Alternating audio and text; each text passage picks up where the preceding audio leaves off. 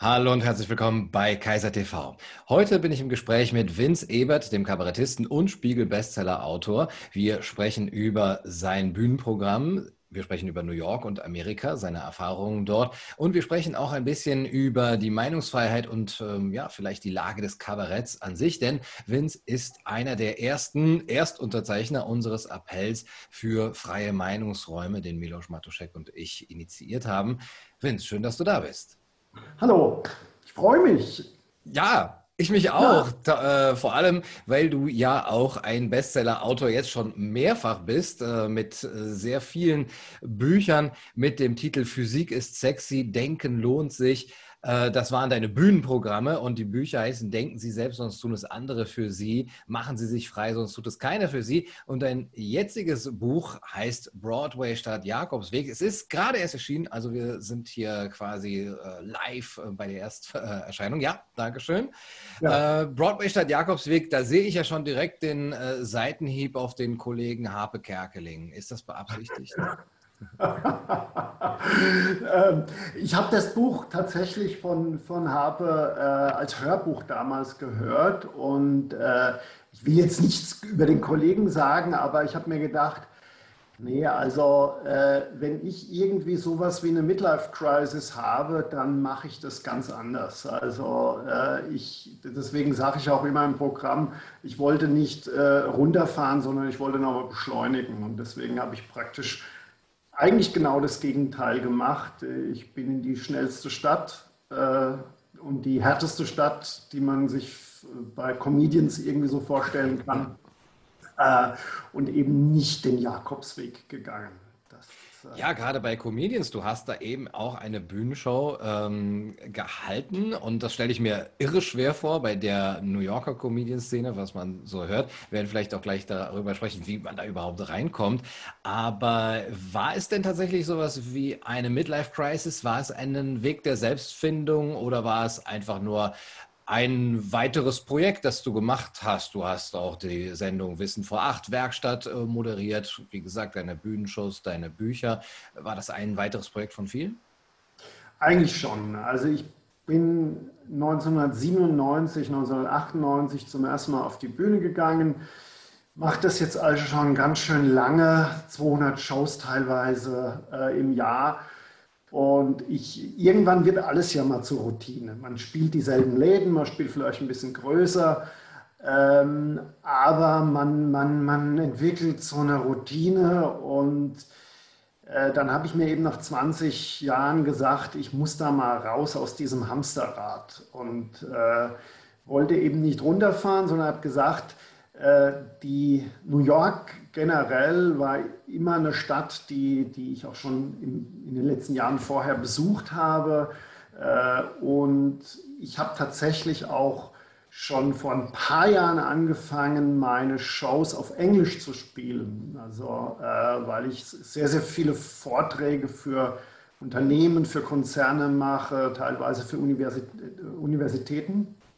Äh, und da hat sich irgendwann mal das angeboten, dass die Konzerne sagen, wir haben eine internationale Crowd, äh, könntest du das nicht auf Englisch machen? Und deswegen habe ich das schon vor ein paar Jahren angefangen, habe dann auch ein englisches Abendprogramm entwickelt mit dem Namen Sexy Science äh, und bin sogar zwei Jahre vorher nach Edinburgh auf das Fringe Festival, das ist so das größte yeah. Theaterfestival der Welt und habe das so quasi als Testlauf gemacht, habe da einen Monat lang gespielt. Das hat ganz gut funktioniert, war ein paar Mal in London, habe da in den Clubs gespielt. Also ich kannte schon so ein bisschen diese äh, angloamerikanische Stand-up-Szene. Und äh, ja, und dann hat sich das irgendwie angeboten, als ich gesagt habe, komm, lass uns nach New York gehen, zusammen mit meiner Frau. Und bin dann tatsächlich auch äh, lustigerweise sehr, sehr schnell in die Clubs reingekommen, weil New Yorker äh, stehen auf schräge Sachen. Je schräger, desto besser. Und ein deutscher Comedian, der Physik studiert hat und Witze über Georg Ohm, den Begründer des deutschen Widerstands, macht, äh, das fanden die irgendwie schräg und lustig. Und so bin ich da irgendwie relativ schnell reingekommen. Was würdest du sagen, wer hat mehr Vorurteile gegenüber dem anderen? Der Amerikaner gegenüber dem Deutschen oder der Deutsche gegenüber dem Amerikaner, wenn man so pauschal sprechen will? Äh, pauschal kann ich sagen, der Deutsche hat ja eigentlich sehr negative Vorurteile gegenüber Amerikanern. Ungebildet, äh, Trump-Wähler, äh, interessieren sich nicht, sehr, sehr egozentriert. Ähm, das ist so das klassische deutsche Klischee vom Amerikaner. Und äh, in Amerika sehen uns die, die Amerikaner äh, in, in, in, einem total positiven Licht. Also ich habe noch nie so viele Komplimente bekommen, äh, ob der Tatsache, dass ich Deutscher bin, wie in Amerika. Und äh, am Anfang habe ich mir gedacht, naja, die machen, die machen sich lustig drüber. Aber ja, weil als Deutscher bist du ja mit so einem Schuldkomplex mhm. irgendwie so. Wir haben all die Welt zerstört und wir sind eh äh, total die, die, die, die niederste Klasse. Und dann kommst du nach New York und die, die, die Comedy-Szene, die Unterhaltungsszene in New York ist ja äh, tatsächlich auch sehr jüdisch geprägt. Also ich habe ganz, ganz viele jüdischstämmige Kollegen kennengelernt. Äh, die Veranstalter sind oft äh, jüdischstämmig. Ähm, und dann sagen die die zu mir, hey, du bist Deutscher, finden wir cool, finden wir klasse. Äh, ja, äh, die machen natürlich auch Scherze über unsere Vergangenheit, aber eher mit so einem Augenzwinkern und sagen wirklich fast alle, ihr Deutschen seid ein tolles Volk, ihr habt euch nicht nur im Autobau oder in der Ingenieurstechnik, sondern auch was Kultur, was Philosophie, also was diese, diese große Tiefe von, von äh, humanistischer und, und geisteswissenschaftlicher Bildung angeht, das finden die großartig. Und ich wusste dann immer im ersten Moment überhaupt nicht, was ich dazu sagen soll. Erstmal abstreiten, dass man äh, wirklich Deutscher ist. Äh, früher hat man ja gesagt, don't mention the war. Aber was ja. eben dein Programm angeht und äh, auch den Witz, gab es denn Witze, die du dir bewusst verkneifen musstest, äh, die man vielleicht als Deutscher in Amerika, vielleicht auch vor einem genuin jüdischen Publikum nicht machen sollte? Oder hast du dich da völlig frei, vielleicht sogar freier gefühlt als in Deutschland?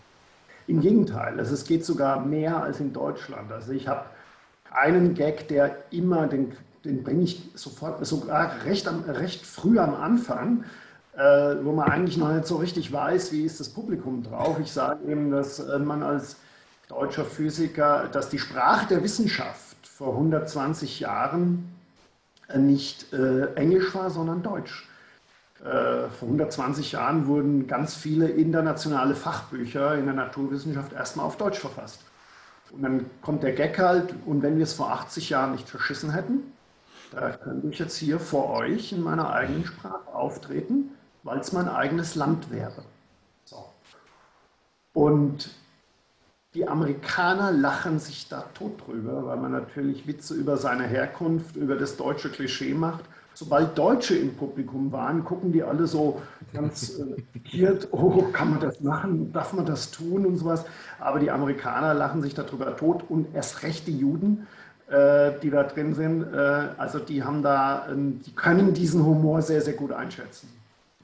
Du hast auch einen schönen äh, Witz oder ein, vielleicht eine Anekdote erzählt über den Moment, wo du und deine Frau eine Wohnung in New York äh, eben findet und bei einem jüdischen Vermieter und äh, du einen, äh, ja, wie deine Frau fand, wohl unangemessenen Witz über Österreicher und Deutsche und eure Verbindung äh, gemacht hat. Und genau. Äh, was, was er geantwortet hat, war, fand ich auch sehr witzig eigentlich. Genau, also ich habe dann eben diesen Gag gemacht, dass man, also ich bin äh, ich bin Deutscher und Valerie, meine Frau, ist Österreicherin. Das exakte Gegenteil wie Adolf Hitler und Eva Braun. Da war sie ja die Deutsche und er der Österreicher. Und dann hat dieser Vermieter, Mr. Schlomo Klickstein, äh, hat mich sehr lange angeguckt und dann gesagt, äh, ich kann Ihnen meine fensterlose Kellerwohnung anbieten. Gerade Ihre Frau äh, sich als Österreicherin dort sehr wohlfühlen. Ähm, also das ist so dieser typisch jüdische Humor. Man, man, man geht so und das hat mir in, in der, in der Comedy-Szene in, in äh, New York eben auch wahnsinnig gut gefallen. Man, jeder, der da auf die Bühne geht, hat irgendwie einen Migrationshintergrund äh, und jeder macht über seine Kultur, über seine Klischees äh, macht äh, die Witze drüber, die Comedians machen Witze über die anderen Kulturen von den anderen Comedians. Also da ist keine, keine Berührungsangst irgendwie da. Und dadurch, dass eben New York so wahnsinnig jüdisch geprägt ist, äh, habe ich so viel Kontakt zu jüdischstämmigen Leuten bekommen, äh, dass man dann auch sich echt locker machen kann, weil man halt irgendwie, wenn man im direkten Gespräch mit denen ist, und dann, äh, dann, dann lösen sich viele Dinge irgendwie auf. Wir Deutschen sind ja, glaube ich, deswegen sehr, sehr verkrampft und sehr, sehr vorsichtig mit diesem Thema, weil wir eben kaum Kontakt zu, zu jüdischstämmigen Leuten haben.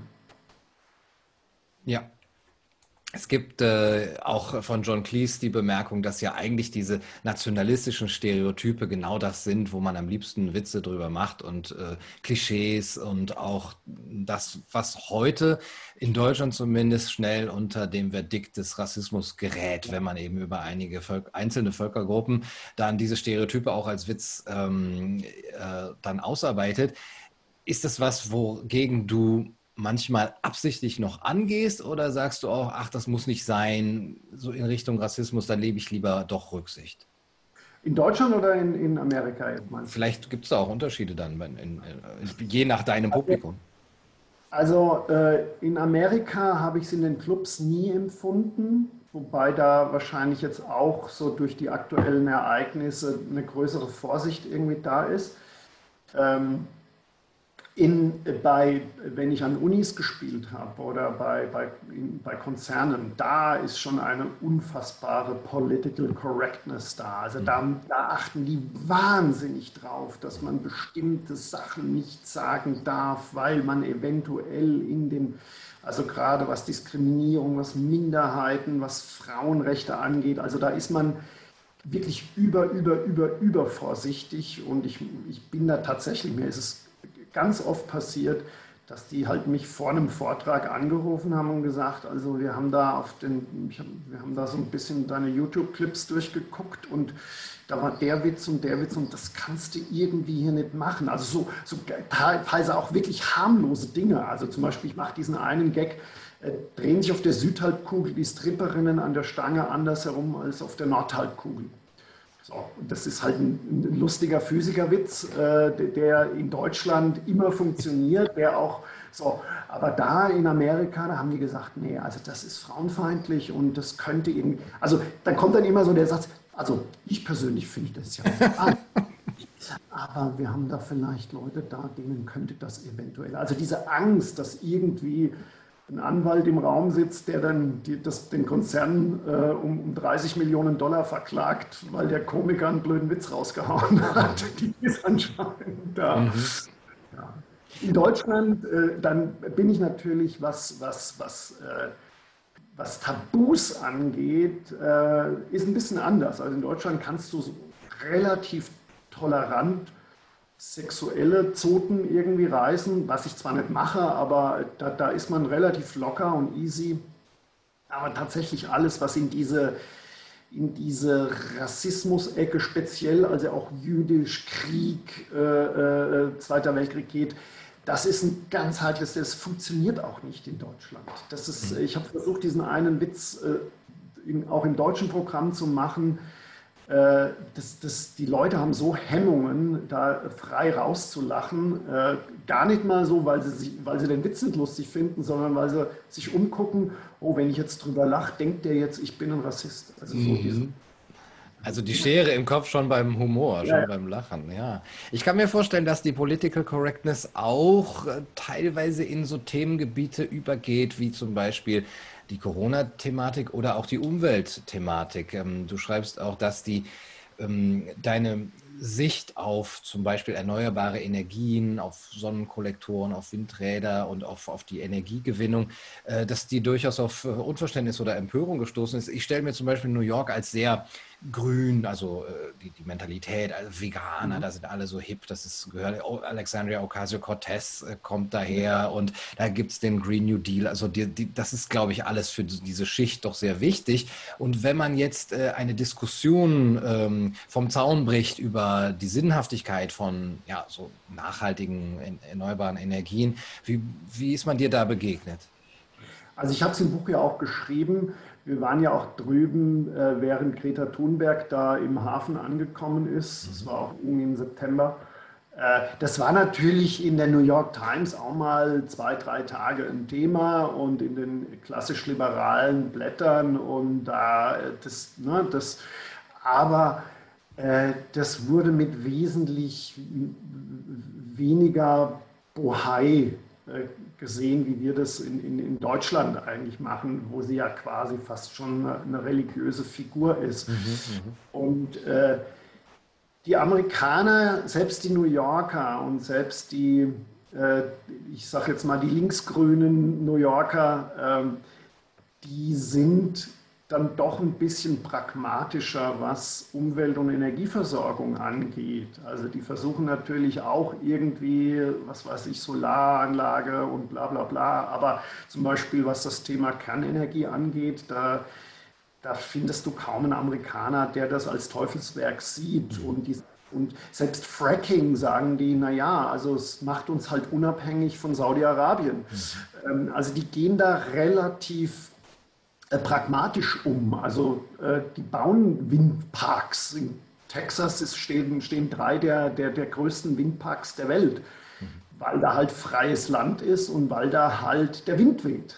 Ja, also die kämen aber nie auf die Idee, irgendwie den Westerwald zu, zu ballern mit Windkrafträdern und irgendwie flächendeckend zu roden, ähm, wo dann halt irgendwie nur 50 Prozent Wind äh, weht. Ähm, also man, man geht das Thema Umwelt- und Klimaschutz meiner Meinung nach wesentlich rationaler an als Deutschland. Das kritisiere ich auch so ein bisschen im Buch und auch im Programm, dass ich sage, äh, keiner will ja irgendwie einen verdreckten Fluss vor der Tür haben und, und jeder macht sich irgendwie Gedanken, dass, dass, dass es alles hübsch und, und, und, und dass wir unseren Kindern eine, eine lebenswerte Zukunft hinterlassen. Ähm, und jetzt sind wir Deutschen ein Volk von Ingenieuren. Aber bei diesem Klimaschutz- und Klimapolitiksthema, da äh, äh, haben wir das, diesen, diesen rationale Herangehensweise vollkommen über den Haufen geworfen. Ich mache im, im aktuellen Programm, ähm, äh, rede ich darüber, dass ähm, man, wenn man, äh, man kann in Deutschland nur 40 Gigawattstunden Strom mit Hilfe von Pumpspeicherwerken, also wirklich speichern. Ähm, und das heißt, wenn jetzt eine Dunkelflaute zum Beispiel äh, äh, käme, eine Phase, wo also kein Wind weht, keine Sonne scheint, würden diese 40 Gigawattstunden gerade für 40 Minuten äh, Strom sorgen in Deutschland. Und dann wäre, wenn wir nur von Wind und Sonne abhängig wären, dann wäre Deutschland, würde Deutschland das, das Licht ausgehen.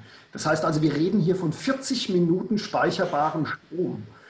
Mhm. Und das ist natürlich absurd, äh, dann irgendwie Kohle und, und, und Kernenergie abzuschalten. Aber das ist halt eben diese deutsche, fast religiöse Verklärung von Umwelt. Ja, diese religiöse Verklärung kommt vielleicht daher oder ist sehr stark damit verbunden, dass die Deutschen, wie du auch schreibst, die Natur lieben. Die Amerikaner hingegen lieben Naturparks. Naja. Wie ist diese Unterscheidung zu verstehen? Also ich, ich glaube, äh, es hat auch so ein bisschen mit der deutschen Romantik zu tun. Der Wald ist ja schon so, eine, so, eine, so ein gottgleiches Wesen gewesen, schon immer unter den Romantikern vor, wann waren die, du weißt das besser, 200 Jahren? Ja, 200 Jahre, ja. Ja. Also da wurde der, die Natur wurde so quasi beseelt. Äh, und deswegen ist, glaube ich, auch dieser Hambacher Forst, also diese, diese Entrüstung darüber so groß. Man hat jetzt da nicht einfach, man wollte da nicht einfach nur eine Fläche abholzen, sondern man hat irgendwie den Deutschen die Seele raus, würde die Seele rausreißen. Deswegen reagieren wir so emotional darauf, weil ein Wald einfach nicht nur ein, ein Gebiet ist, wo halt Holz wächst, sondern weil das irgendwie zu unserer Seele gehört. Und die Amerikaner, Die lieben natürlich Natur, klar, aber die sehen die nicht so verklärt. Die sagen, ich mache halt einfach die Natur, weil ich gerne in der Natur bin. Feierabend. Amerikanischer Pragmatismus.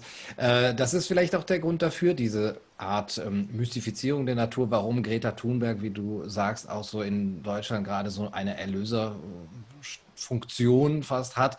Ähm, Witze über Greta Thunberg zu machen, kommt ja dann teilweise schon einem Frevel gleich, wie wir es auch bei ja. Dieter Nur gemerkt haben. Äh, hast du Bedenken, Witze über Greta Thunberg zu machen? Bedenken hätte ich nicht. Ich vermeide es immer in meinen Programmen, äh, konkrete Personen direkt anzugehen, äh, weil das ist immer billig. Also das äh, ich mache keine Witze über Trump, ich mache also über, als, über, ich arbeite mich nie an Personen ab. Ich, ich interessiere mich eigentlich immer, wenn ich, ein, wenn ich ein Phänomen auf der Bühne oder in den Büchern beschreibe und das satirisch irgendwie aufbereite, interessiere ich mich eher für das Phänomen selbst, weniger für irgendwie einzelne Personen, die dann repräsentativ dafür stehen.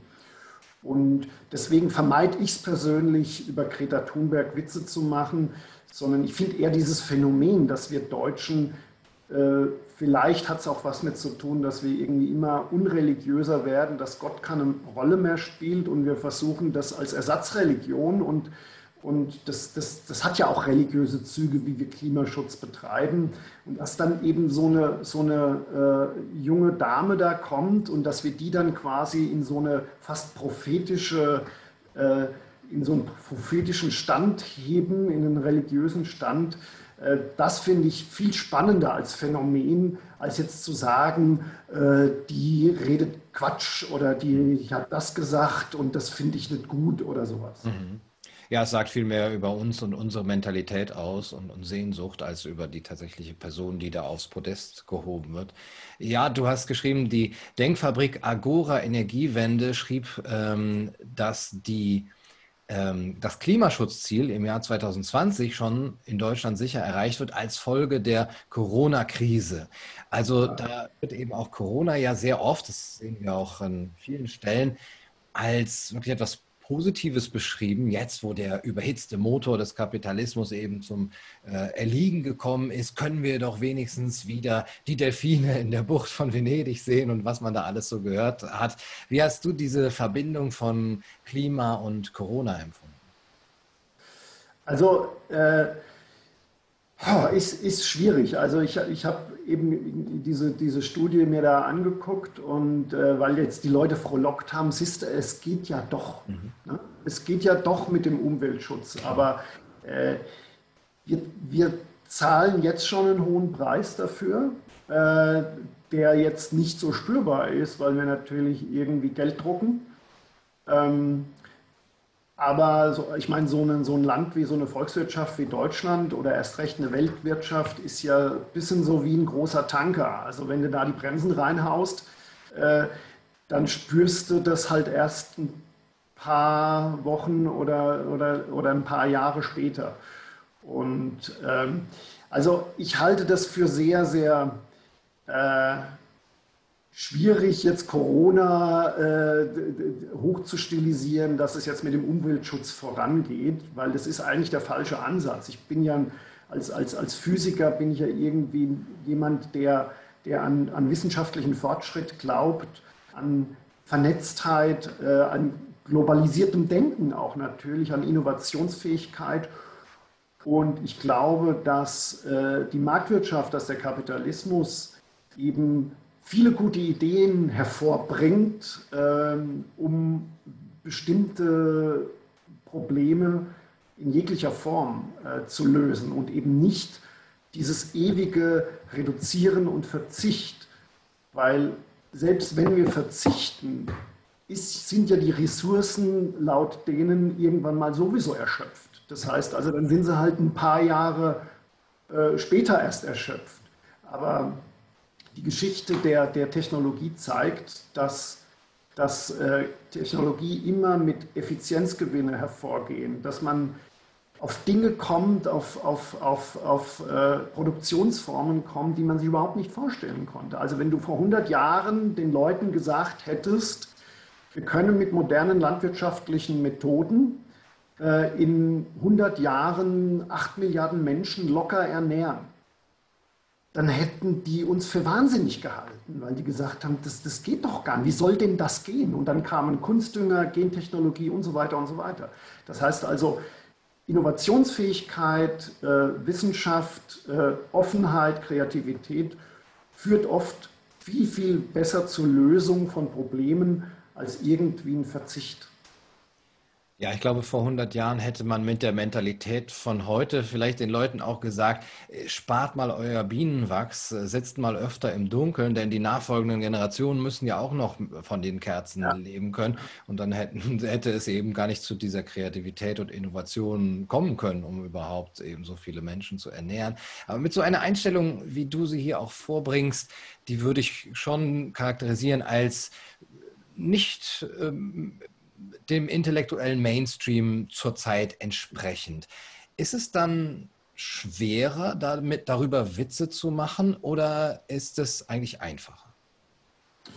Na, es ist äh, insofern intellektuell herausfordernder, weil man natürlich wesentlich genauer argumentieren muss, beziehungsweise seine Programme wesentlich cleverer durchdenken muss, als wenn man jetzt irgendwie äh, das ich sage jetzt mal, ein klassisches Kabarettpublikum hat, mhm. bei dem man weiß, da macht man, macht man, da legt man ein paar Schalter um, dann kriegt man im, im Wesentlichen einen Gesinnungsapplaus.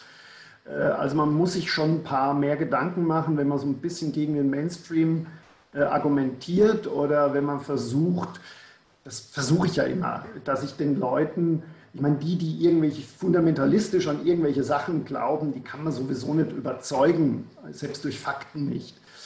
Äh, deswegen sind sie auch Fundamentalisten. So, aber es gibt, eine Menge, es gibt eine Menge Leute, die so dazwischen sind und die tatsächlich ein Interesse haben äh, an Zusammenhängen. Und die kommen ganz oft zu mir und sagen, wow, das habe ich ja überhaupt noch nie gehört. Das ist ja hochinteressant. Ähm, also, und, da, und das, da freue ich mich, dass du dann praktisch bei diesen Menschen irgendwie was erreicht hast, dass sie sagen, ich, mir, ich mache mir zum ersten Mal über diesen speziellen Gedanken, denke ich irgendwie ganz anders drüber nach. Mhm. Und das, also, das freut mich dann wahnsinnig, wenn, wenn die Leute so rausgehen. Ich will die Leute nicht, das, das stört mich ja auch am politischen Kabarett, auch ganz oft in Deutschland so. Das ist immer so von oben herab sehr belehrend. Also der Kabarettist sagt, was richtig, was falsch ist. Nicht alle, aber dann doch tendenziell. Und ich versuche eben ganz, ganz, ich habe natürlich auch meine festen Überzeugungen, aber wenn ich ein neues Programm schreibe oder auch im Buch, ich versuche meine Meinung weitestgehend runterzuschrauben und eigentlich den Leuten Fakten, überraschende Sachen zu präsentieren. Und dann sollen sie sich auf dieser Basis ihre eigene Meinung dazu bilden. Das wurde mir tatsächlich schon mal von der Frankfurter Rundschau vorgeworfen, dass dass, dass, ich da, dass ich die Leute quasi in ihrer Entscheidungsfähigkeit ein, alleine lasse. So ein bisschen. ja, oh, das ist unverantwortlich. Nachher kommen Sie noch auf Gedanken. ja. ähm, lass uns noch mal ganz kurz zu den USA und zu New York zurückkehren. Du musstest deinen Aufenthalt, der für ein Jahr geplant war, nach neun Monaten abbrechen wegen Corona, wegen dem Shutdown. War das für dich eher eine Erleichterung? Äh, und jetzt kann ich aber wirklich mal ein Sabbatical machen und ein bisschen entschleunigen? Oder hättest du gerne noch diese drei Monate drangehängt? Ich hätte schon noch gerne drangehängt, klar. Also ich habe zum Glück fast alle größeren Projekte, die ich machen wollte, dann doch noch realisieren können. Also ich habe meine letzte Show in, also ich habe ein großes Projekt gehabt. Ich wollte zwei Wochen Off-Broadway in Manhattan mein Programm spielen. Und da war die letzte Show am 8. März und am 10. März sind die Theater zugemacht worden. Das heißt, ich habe es gerade so geschafft. Mhm. Also das hätte mich schon ganz schön äh, geschmerzt, wenn das nicht zustande gekommen wäre. Ähm, ja, es, es war dann irgendwie, wir sind dann wirklich Hals über Kopf äh, zurückgefahren. Das war im Grunde genommen eine, eine, Entscheidung innerhalb von Minuten, als Trump am 13. März äh, äh, gesagt hat äh, bei einer Rede, dass jetzt die Interkontinentalflüge demnächst gekappt werden. Da habe ich gesagt, okay, wir kommen vielleicht hier nicht mehr raus. Und du wusstest ja auch zu diesem Zeitpunkt überhaupt nicht, wie sich das alles entwickelt. Und dann habe ich an diesem Abend noch zu meiner Frau gesagt, lass uns einen Flug buchen, sonst kommen wir vielleicht hier erstmal die nächsten paar Monate nicht mehr weg. Mhm. Und bin dann quasi dann drei Tage später äh, zurückgeflogen. Und dann halt irgendwie voll in den Lockdown. Ich mache immer diesen Scherz, als Physiker äh, war ja Social Distancing eigentlich der Grund, weshalb man Physik studiert. Insofern war es für mich gar nicht so schlimm. Und ich musste dieses Buch, das ja eigentlich schon fertig war im März, mehr oder weniger, das musste ich dann natürlich noch umschreiben, weil wir haben uns dann, ich war, da waren wir schon wieder zurück und das Buch war im Grunde genommen bis auf ein paar Kleinigkeiten lektoriert. Und dann hat der Verlag, äh, die, die Verlegerin angerufen, äh, hat gesagt, du Vince, äh, ich glaube, wir müssen dieses Corona-Thema noch mit reinbringen. Zwar nicht exzessiv, ich wollte da kein Corona-Buch und sie wollte das auch nicht, aber es sind halt viele, viele Geschichten im Buch, wenn ich über New York erzähle, über diese Lebendigkeit, über die Theaterszene, über die Gastronomieszene, äh, die natürlich jetzt massiv äh, runtergefahren ist. Und deswegen habe ich dann noch mal einen Monat lang das Buch so ein bisschen überarbeitet und habe mich dann mit dieser Bucharbeit äh, durch den Lockdown quasi gerettet. Mhm. ja, das ist ja sehr produktiv. Äh, nun ist äh, New York nicht die USA und äh, es ist immer schwer, da jetzt zu mh, pauschalisieren. Du warst 2009 schon mal in New York und jetzt eben 2020. Du hast äh, Donald Trump eben erwähnt. Ich kann natürlich nicht äh, ohne zu fragen, ob du da sagen würdest, naja, man hat äh, vor der Wahl von Trump mh, prophezeit, das wird jetzt hier gleich das nächste Dritte Reich werden. Äh, siehst, hast du in New York Unterschiede wahrnehmen können vor der Wahl Trumps, nach der Wahl? Also in New York hasst den natürlich jeder. Mhm. Also wenn du da mit einem Trump-Cappy durch, durch äh, das East Village gehst, dann herzlichen Glückwunsch. Ähm, was ich, ja, also das, das mal so. Also, aber wir waren natürlich auch viel äh, unterwegs im Land. Also wir haben immer mehr so, wieder so kleine Roadtrips gemacht. Wir waren in Texas ein paar äh, Tage. Wir sind durch Louisiana gefahren.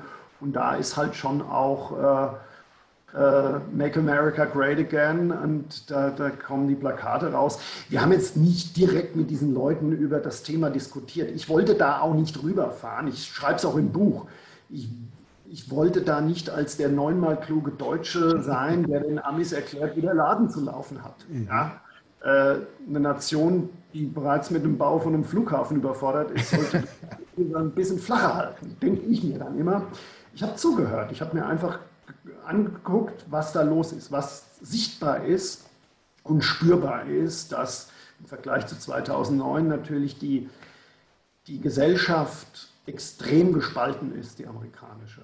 Ähm, und ich habe es auch im Buch geschrieben. Also früher war die Spaltung, so vor 40 Jahren, war die Spaltung eher schwarz-weiß. Also wenn du, wenn du zum Beispiel bei Umfragen Leute, wenn du Schwarze gefragt hast, würden sie in ein weißes Viertel ziehen oder Weiße gefragt hast, würden sie in ein schwarzes Viertel ziehen, dann war, haben die meisten Leute gesagt, no have, bitte nicht.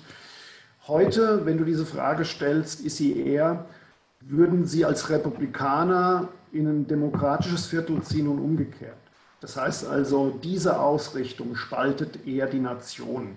Und das ist durch, durch äh, in, diesen, in diesen letzten vier Jahren mit Sicherheit äh, größer geworden, diese Spaltung.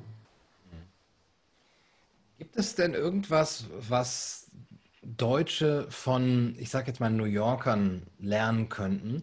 Oder auch wünschst du dir manchmal irgendetwas aus deiner New Yorker Erfahrung du lebst jetzt in Wien, das ist natürlich mit irgendeiner deutschen Stadt gar nicht zu vergleichen, aber was wir im deutschen Sprachraum da noch mehr haben könnten, wenn wir uns, uns äh, wünschen könnten? Also ich, ich habe ich hab das Deutschsein als sehr ambivalent wahrgenommen in Amerika drüben und auch speziell in New York. Also auf, auf der einen Seite, was ich toll finde an uns, an uns Deutschen, ist tatsächlich, wenn wir uns irgendwas vornehmen, äh, dann ziehen wir das bis zum bitteren Ende durch. Also wenn wir sagen, wir wollen eine Duscharmatur konstruieren, dann ruhen wir nicht, bevor das Ding zu 110 Prozent funktioniert. Äh, und dann gehen wir aufs Ganze. Das Problem ist, dass wir das halt auch mit Ideologien, mit großen Ideen machen äh, und dann bis zum Ende durchziehen, obwohl wir vielleicht irgendwie äh, sehen, dass das funktioniert alles irgendwie nicht. Stichwort Energiewende oder ich will nicht zurückgehen in unsere dunkle Zeit. Ähm, also dieses deutsche, es muss alles immer hundertprozentig sein und kein Raum für Improvisation. Also wenn wir uns was in den Kopf gesetzt haben, dann wird das durchgezogen. Und die Amerikaner und speziell die New Yorker, die sind da wesentlich lockerer. Die sagen, es, wir, wir, jeder Tag ist eine neue Herausforderung. Hier kennt jeder uns überleben.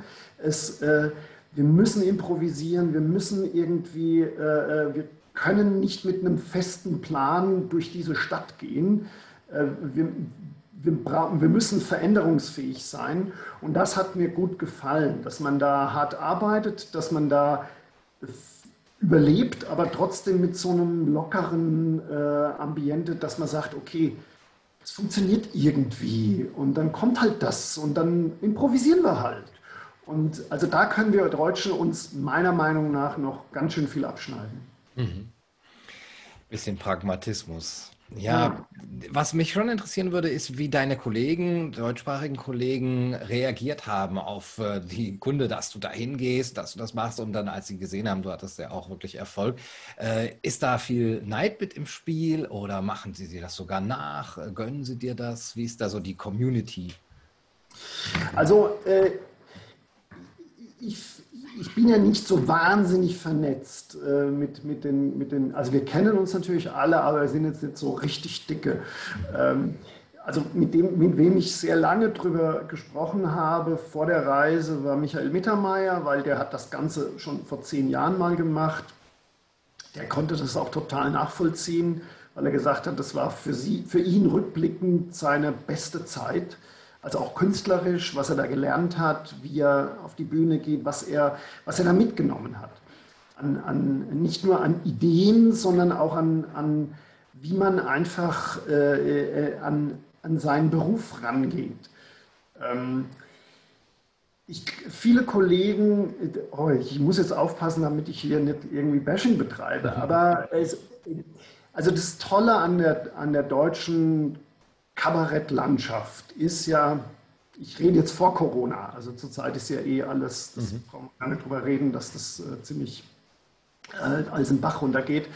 Aber vor Corona war es eigentlich relativ easy, wenn du ein bisschen etablierterer Kabarettist warst, da äh, eine Familie zu ernähren und ein gutes Leben zu führen. Es gibt halt irgendwie sehr viele staatliche Förderungen, jede jedes Kaff hat irgendwie eine Kleinkunstbühne, wo, der, wo, der, wo die Gemeinde dann halt irgendwie im Jahr 30.000 Euro reinhaut, damit halt ein schönes Programm ist. Das heißt, ähm, du kannst als Kabarettist in Deutschland relativ gut oder konntest relativ gut leben und dadurch, ähm, da bin ich auch sehr dankbar dafür. Gleichzeitig, ähm, wie will ich das sagen, ist es natürlich auch so ein bisschen neigt man dazu, das sich so ein bisschen zu gemütlich zu machen. Mhm. Und äh, ich glaube, dass viele Kollegen tatsächlich nicht so richtig verstanden haben, warum macht der das jetzt? Der, der, wieso, der, der könnte doch hier locker noch ein paar Jahre hier äh, eine ruhige Kugel schieben. Und jetzt geht er da rüber und tut sich irgendwie so das, das, das, das Schlimmste was man sich vorstellen kann. Also sich vor eine besoffene Meute von New Yorkern zu setzen und, und für 20 Dollar am Abend äh, irgendwie was zu spielen. Ähm, also das vermisse ich so ein bisschen an der, in den, in den, in der, unter meinen Kollegen, dass es so, so, so wenig tatsächlich Freigeister und so, so auf Leute gibt, die so, so gerne auf Risiko gehen. Äh, verstehst du, was ich meine? Ja, ist, äh, du ja. hast eben auch das Stichwort staatliche Förderung genannt, also die Kulturszene insgesamt. Ich denke auch die Kabarettszene ist ja vielleicht nicht unbedingt angewiesen, aber nimmt das natürlich auch sehr gerne in Anspruch, äh, was der Staat da ausschüttet. Führt das nicht äh, zu einem gewissen, ja, du hast eben gesagt, so eine Art ähm, Bequemlichkeit, vielleicht so intellektuelle Bequemlichkeit oder auch, äh, ja, die Hand, äh, die mich füttert, die beißt ich lieber nicht nicht und dass man da wirklich schon diese innere Schere allein deswegen äh, im Kopf hat? Also finde ich schon. Also man muss es, man muss zumindest aufpassen. Also ich spiele ja auch sehr viele äh, Veranstaltungen vor Konzernen. Also ich bin sogenannter Keynote Speaker, klingt wahnsinnig toll, aber ich halte halt auch für viele Unternehmen Vorträge mit ein bisschen angepassten Inhalten. Ähm, und da ist jedem klar, dass man natürlich, äh, ja, wenn halt irgendwie dann man vor einem Pharmakonzern spielt äh, oder einen Vortrag hält, dann kann man natürlich irgendwie nicht sagen, das, was ihr macht, ist alles Schrott und ihr seid eigentlich unethische äh, Idioten. Also so würde ich auch nicht machen, aber also da, da ist klar, oder da ist jedem Künstler auch klar, dass man da natürlich Kompromisse machen muss oder in die, oftmals in die Richtung gedrängt wird. Aber das ist natürlich bei staatlicher Förderung genauso, dass du natürlich schon vielleicht unbewusst überlegst, äh, was kann ich jetzt sagen oder vielleicht gar nicht so, dass du, dass du gecancelt wirst oder sowas. Aber es ist eher, es, es, ich meine, es ist ganz natürlich, wenn, wenn ich von jemandem Geld bekomme, dann gehe ich nicht hin und pisse ihm ans Bein. Hm. Das ist, äh, also ja. Zumindest ich nicht. ja, ich glaube auch, man muss sich die Leute ja nur ansehen, wie Franz Josef Strauß gesagt hat. Ähm, die, man sieht vielleicht schon eine gewisse Einengung des, dessen, was so gesagt wird, wenn man es vergleicht vielleicht mit dem Kabarett von vor 30, vor 40 Jahren. Äh, aber wenn wir jetzt die Fälle nehmen, zum Beispiel Uwe Steimle beim MDR oder Andreas Thiel in der Schweiz, Dieter Nuhr haben wir schon erwähnt, Lisa Eckert ist jetzt ein prominentes Beispiel. Da gab es eben ja so etwas wie Skandale, auch wo man das Gefühl hatte, die gehen im Grunde genommen aus diesem Meinungskorridor heraus. Du hast ja auch unseren äh, Appell für Meinungsfreiheit unterschrieben, der sich ja gerade auch an diesen Kabarettsituationen entzündet hat. Hast du das als eine Art äh, Entwicklung gesehen? Hast du da, wie ist dein Blick auf diese Fälle gewesen? Also was ich äh, schon sehe, ist, dass sich tatsächlich dieser Meinungskorridor ähm, ähm, verschoben hat oder kleiner geworden ist. Jetzt, äh, weil äh, ich meine, diejenigen, die dann äh, die, die, die dahin kein Problem sehen, die sehen deswegen auch oftmals kein Problem, weil sie halt eben sehr mainstreamig argumentieren. Aber wenn du halt tatsächlich ein bisschen rausgehst, äh, und wir reden jetzt hier nicht von Extremsituationen, mhm. also das will ich jetzt mal, du hast ja, glaube ich, auch mal in einem Kommentar gesagt äh, über, die, über diesen süddeutschen Artikel, es geht nicht darum, dass man jetzt irgendwelche äh, extremen Positionen äh, gutheißen möchte mhm. mit diesem Appell, sondern äh, das zeigen, es zeigen auch Allensbach-Umfragen, dass, glaube ich, nur ein Fünftel der Leute inzwischen sagt, ja, wir können irgendwie offen unsere Meinung sagen. Mhm. Das geht jetzt nicht darum, dass die dann äh, nachts von der Polizei abgeholt werden, sondern es passieren soziale Ausgrenzungen, es passieren, ähm, ich weiß ganz genau, wie, wie Veranstalter oder auch Konzerne reagieren. Also, das, wenn, du, wenn da irgendwie in deinem Wikipedia-Profil irgendwas drinsteht, was in irgendeine verdächtige Ecke äh, hingeht, das muss stimmen oder das muss nicht stimmen. Mhm. Äh, dann sagt jeder Konzern, nee, den können wir nicht einladen. Mhm. Ich finde den ja gut, aber nee, also das, äh, wenn das irgend so. Und so passiert es halt auf so eine subtile Art und Weise. Und dann habe ich auch noch, äh, äh, weil ich ja immer so halb bei der Kunst bin und halb immer noch bei der Wissenschaft, da muss ich einfach auch sagen, ich kenne halt auch in Deutschland sehr, sehr viele Professoren, viele, die in diesem Wissenschaftsbetrieb sind, auch in Amerika ein paar, dass die halt auch sagen, dass der Meinungskorridor auch selbst in der Wissenschaft ist immer stärker eingeengt. Also wenn du in einer größeren Uni ähm, die Genderforschung äh, äh, an, also kritisierst, dann kannst du tatsächlich mit dem Dekanat Probleme bekommen. Und, äh, und ich rede jetzt nicht von irgendwelchen polemischen Sachen, dass die, da, dass die Frauen doch bitte an den Herd sollen, sondern wenn du, es gibt ja in der Evolutionsbiologie ganz eindeutige äh, Evidenzen, dass, dass eben das Geschlecht nicht nur ein soziales Konstrukt ist, sondern dass es eben sehr, sehr viele Bereiche gibt, äh, wo die genetische Disposition eben auch äh, das Geschlecht beeinflusst. Und wenn du da einen Zacken zu weit gehst, dann wirst du in der Wissenschaft schon auch, kriegst du schon auch einen auf den Deckel. Das ist in Amerika noch schlimmer, aber das ist auch in Deutschland so. Ja, und vielleicht nicht nur in der Wissenschaft, sondern auch im Kabarett, frage ich dich. Also würdest du zum Beispiel Themen wie Gender, Feminismus, Umwelt haben wir schon darüber gesprochen, würdest du das ausklammern? Gerade so du als Wissenschaftskabarettist. Ja, ich mache jetzt im neuen Programm eine Gender-Nummer. Mhm. Ist noch in der Vorpremierenzeit. Mhm. Äh, mal sehen, ob was jetzt passiert. Nein, also äh, ich, ich versuche das ja, genau, aber das ist ein schönes Beispiel. Also da habe ich sehr, sehr lange überlegt, wie formuliere ich es, was kann ich sagen, wie kann ich es auch so formulieren, dass ich auf gar keinen Fall missverstanden werde.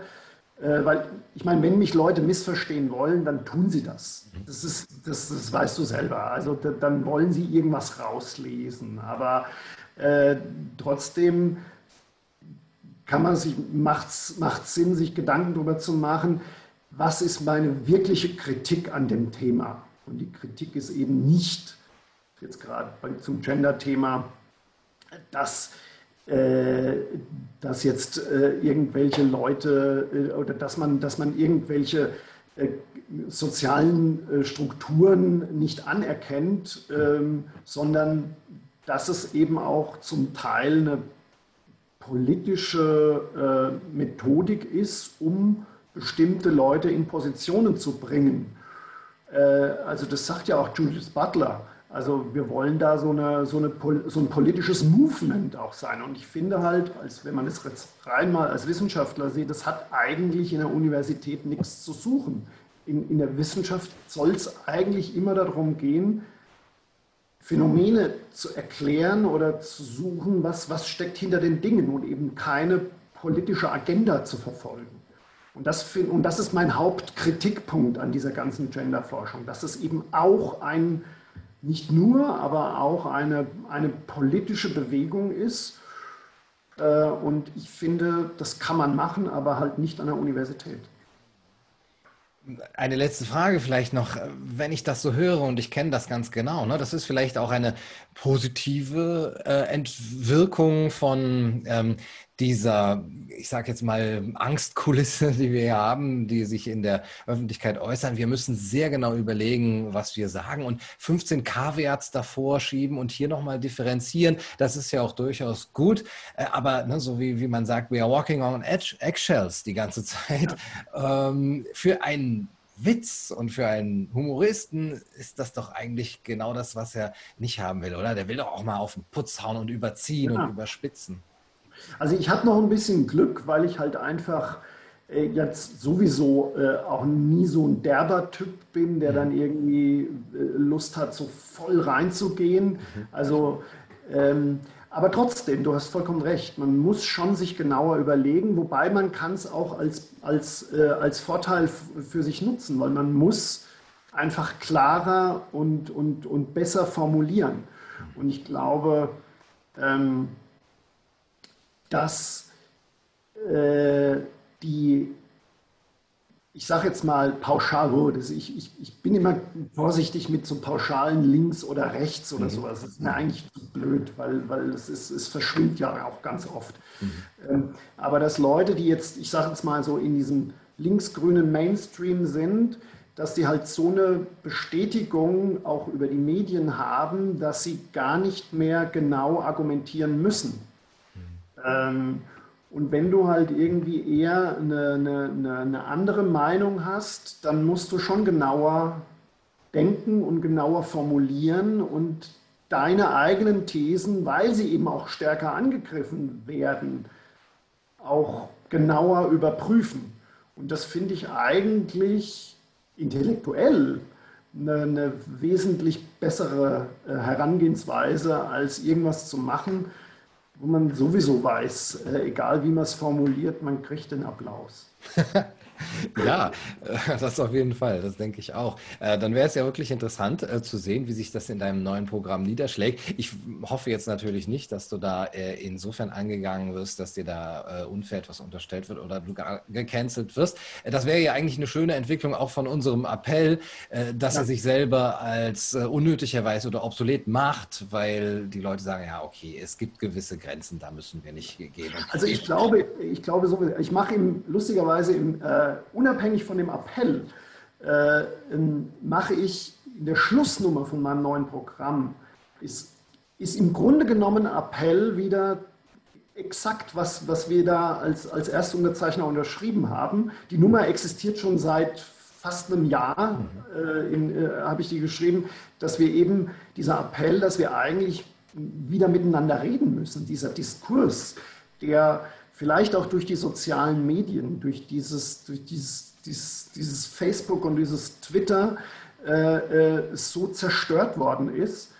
Ich bin jetzt kein äh, äh, Feind von, von, von, von Technologie, aber es ist halt einfach auch eine unangenehme Nebenerscheinung, mhm. dass man halt durch, du weißt es ja selber, du schreibst, du setzt einen Post ab und die Leute versuchen dich sofort in die eine oder die andere Richtung zu äh, zu, zu, zu etikettieren. Das heißt, dieser, das, was die, die, die abendländische Kultur eigentlich ausmacht, Ertragen von unterschiedlichen Meinungen, Widersprüche auszuhalten und eben auch diese Einsicht, dass keiner die absolute Wahrheit gepachtet hat, ähm, die geht durch, diese, durch diesen sozialen Medien totalen Bach runter. Äh, und ich glaube, ich sage es im Programm auch ganz zum Schluss, in so einem wirklich, da ist auch mucksmäuschen still. Ich sage auch, wenn wir, sobald wir das direkte Gespräch mit jemandem suchen, erweisen sich die wenigsten Leute als linksgrün versifft oder als rassistisch. Wir Menschen sind widersprüchlich und komplex. Und äh, ich glaube, dass die überwiegende Mehrzahl der Leute mehr Gemeinsamkeiten miteinander haben als Trennendes. Und äh, ich glaube, darüber müssen wir eigentlich auch, das ist, also es ist eigentlich eine positive äh, Botschaft, aber wir müssen sie eigentlich auch akzeptieren und, und annehmen.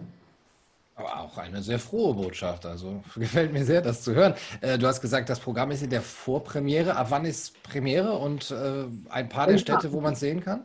Am 27. September ist in München im Innenhof vom Deutschen Museum Open Air, Social Distancing, mhm. äh, ist die Premiere und ab dann geht es überall deutschlandweit los. Und äh, vince-ebert.de ist der Tourplan, äh, da kann man mich irgendwie sehen. Österreich auch übrigens. Ich spiele äh, im Jänner, wie wir Österreicher das sagen. Äh, Mitte Jänner mache ich dann eine kleine Österreich-Tour. Na, sehr schön. Bist du schon eingebürgert in, in Österreich? Äh, ich darf tatsächlich, ich habe mich jetzt neulich mal informiert, äh, in sechs Jahren dürfte ich um die österreichische Staatsbürgerschaft äh, ähm, mich bewerben. Also da ist es mhm. noch nicht klar, aber dann muss man, glaube ich, auch so einen Test machen. Man muss irgendwie Gabalier-Songs äh, singen. Ja, was, was Tomate auf Österreichisch heißt oder sowas. Ja, ja. ja sehr schön. Und dein Buch äh, Broadway statt Jakobsweg kann man auch jetzt schon kaufen. Also alle Links, ja. ganz genau, sind in der Beschreibung. Vince, vielen Dank für das Gespräch. Danke. Und auch an euch vielen Dank. Ich hoffe, das Gespräch hat euch gefallen. Bis zum nächsten Mal. Macht's gut.